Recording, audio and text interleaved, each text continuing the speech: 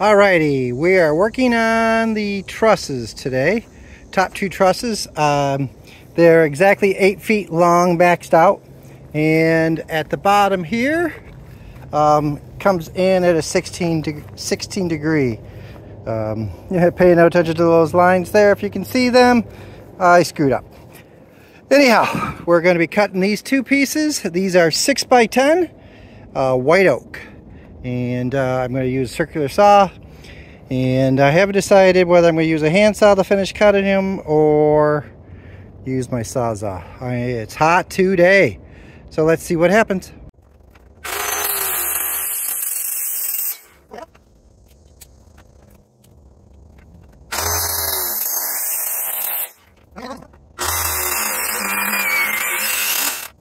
I to use my handsaw. I usually um, use my hand saw when I've been cutting these timbers, but they always been six by six or so. Um, normally this is six by 10, so this is the longest I've done. And this will be the first time I've done white oak. I've been done uh, pine and red oak. So this will take a little bit. So we'll probably speed fast forward this.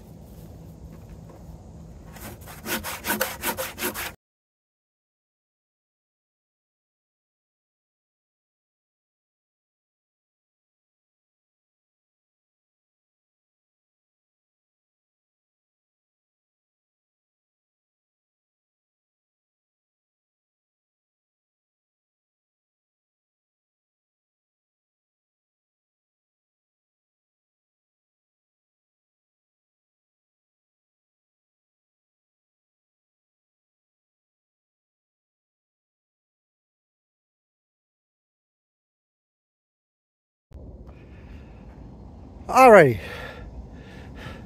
Got the top cut and the back cut. These are pretty much all roughed in. I still have to cut in a um, bird's mouth on both of these, but I'm going to wait till I get the truss actually assembled to get the better dimensions for that. So what I'm doing right now is I'm taking a uh, belt sander, three inch belt sander, uh, 220 grit sandpaper, and uh, I'm just sanding them off, cleaning up the surface a little bit, getting all the uh, marks that might be on there and just smoothing it out a little bit so that it takes stain better. So it's kind of quick, but I'll let you watch a little bit of it.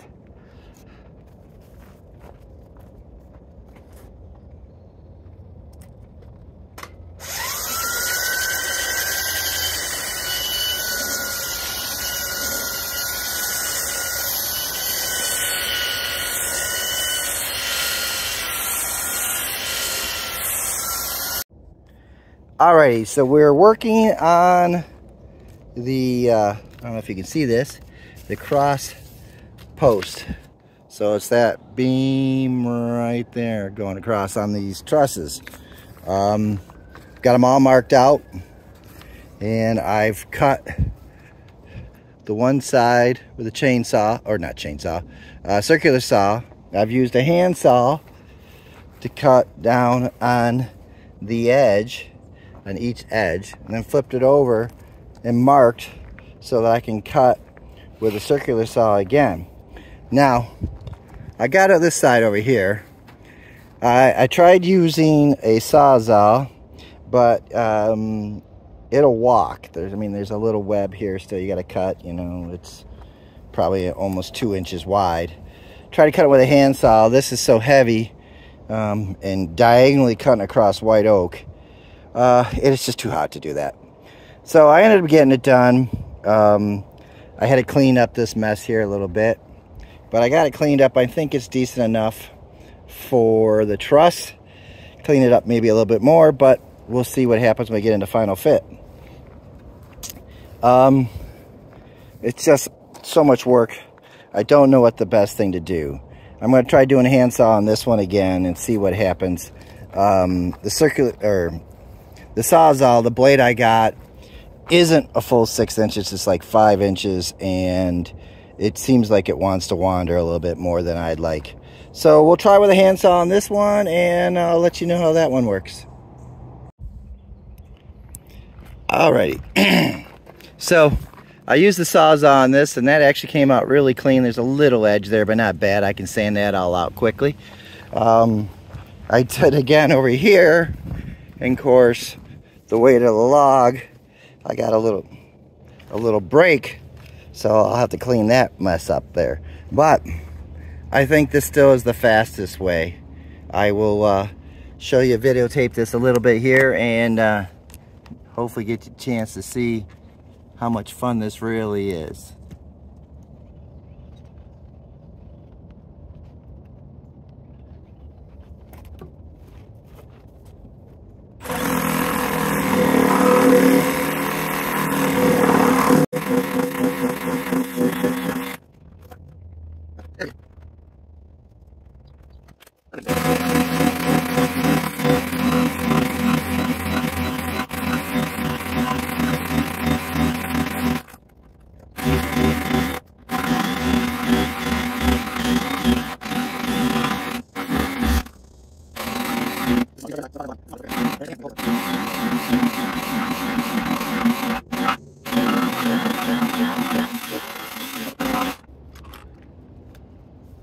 Well, I don't know how long that took, but that's a lot faster than the handsaw. It's, uh, that's 23 inches of diagonal cut through uh, 6 by 10 white oak.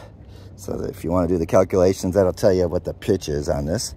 But uh, now all I gotta do is cut in the uh, mortises for the king post. So let me get set up for that.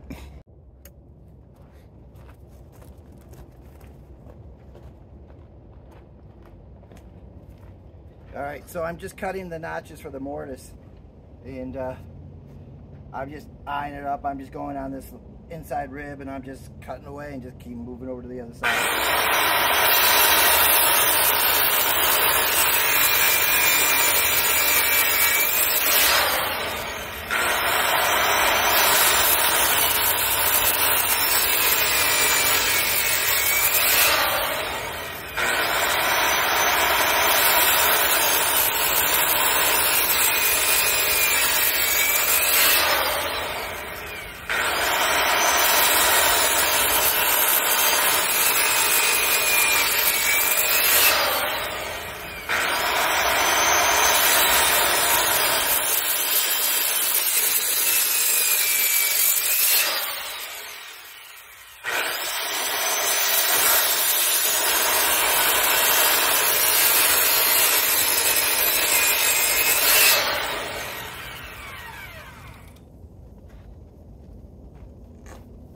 Try to get a little closer to that edge cut here, but I, I went a little wild here, so I'm gonna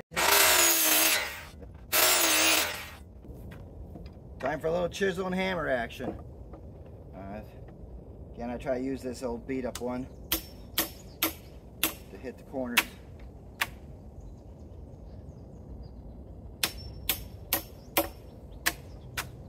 And use my better chisels to do the cleanup.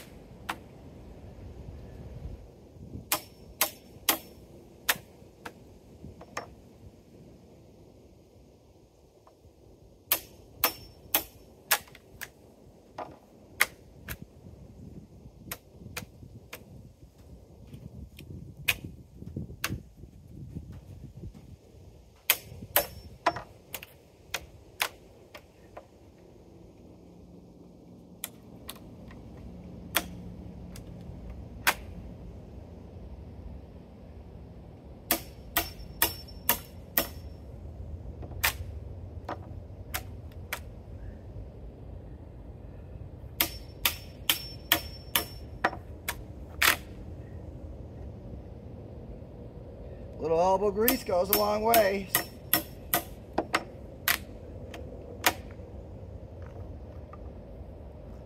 Guess I should get a bucket.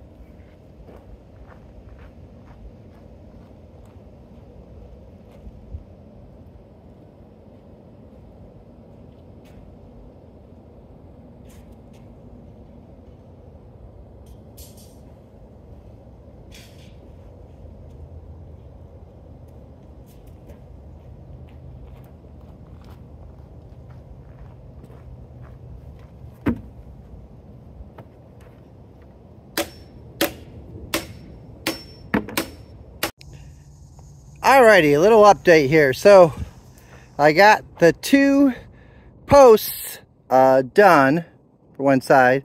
I'm using three tie in six by tens to tie the two posts together. And uh, on the second post. So uh, measured these up. You can see there's a bunch of lines. I hope you can see. But I saved it. Unfortunately, I knew there was some rot on this side, or, but I didn't realize how far up it went. So when I started drawing it, I was going to be, the top of the post was going to be there, but I had to slide it all back down. So I had to redo my marks. But I've uh, cut all of these uh, mortises, I've notched them one inch thick. And uh, I've got that side um, cut in. Now all I have to do is cut out the ribs to break them off. So I thought I'd bring you in here so you can see that. It goes really pretty fast.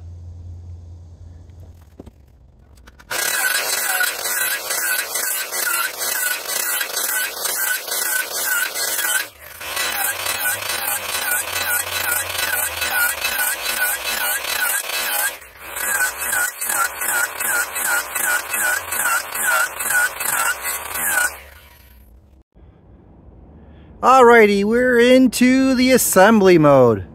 This here is the one, um, gonna be the one side. We've got the two posts. There are three cross members and then a top cap over there. Um, this one here I've been staining, but I ran out of stain. I've got everything, uh, I think pretty well rough fitted in. I had to do a little cleanup here on these grooves. My concept here is gonna be, to use the tractor here, lift this post up, flip it, and set it down, and hopefully I can get it going through in there.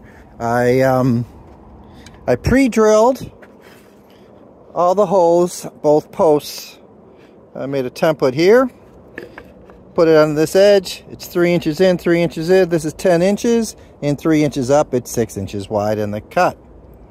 Let me redo that again three inches in and three inches in and three inches up on a six inch.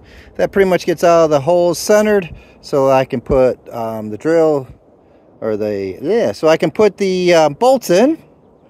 Boy, I'm having a hard time today. Put all the bolts in and it should look pretty uniform. So let's see what happens when we get this thing going. This is the um, top piece. It's a 10 by 10, six inch cut, six inch cut. I think I want an inch and a half inch deep. So hopefully, when we get this going, get this piece, this post on these cross members, this cap will fit and I can screw into that and hold this whole assembly together.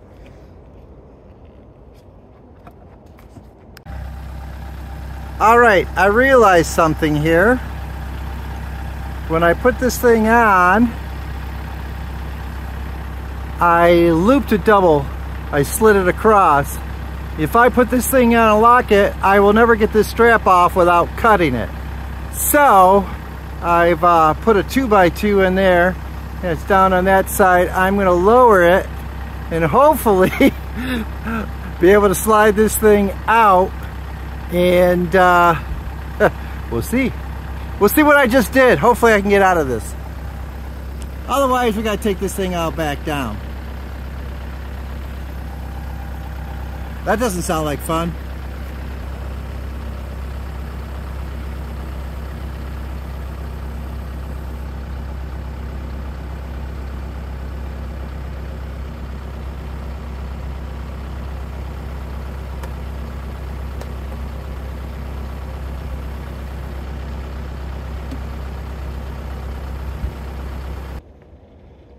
Well... must be precise. We're a little tight.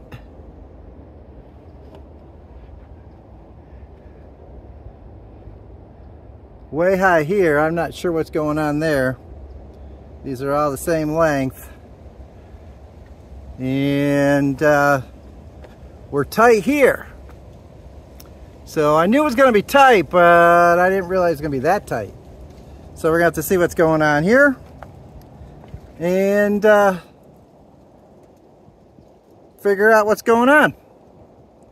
Let me uh, mark this thing up and I guess I'm going to be taking this beam back down, unfortunately.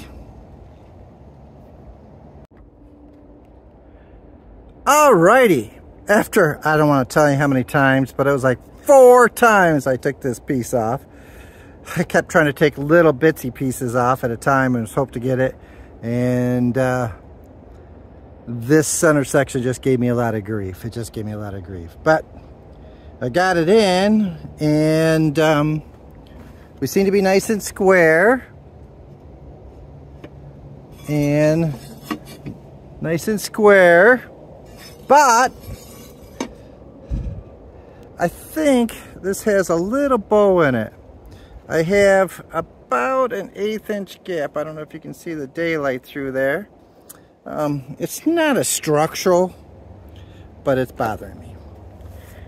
But to take care of it correctly, I guess I would need to shave, take this all apart and shave like an eighth inch off of that one and an eighth inch off of that one to get that one perfect. What are your thoughts? Is that something I should do? I'm thinking, uh, I'm thinking not. I think I'm just gonna let it roll. That's my thought. It's not perfect by no means, but um, I think I'm gonna leave it alone. I don't want to mess with it. I think it'll be good enough. So I'm going to put the screws in and anchor this thing in and then we're going to try putting the top on. So what am I using for this? I'm using these uh, timber HeadLOKs, six inch long. So they have the big head on them. Hope you can see that. Can you see that? Yeah, it looks like you can see that. Good, good. So I'm putting two in each side of these cross supports. Uh, they're six inch beams, notched an inch, so thread's going in only an inch. Um, but that would be a 3 8 long leg screw. That's six trying to hold these together on each side. Sounds like enough to me.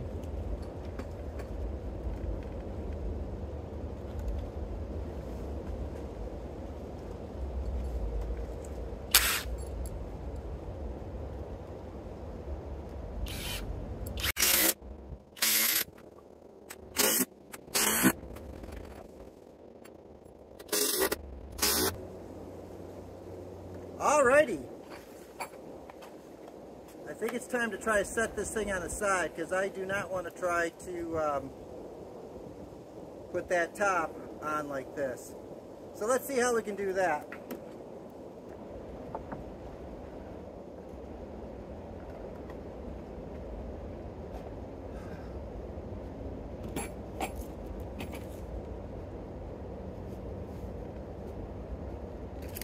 I think we'll tip it. As long as we got those straps on it and uh, set it down on its side on the other two posts.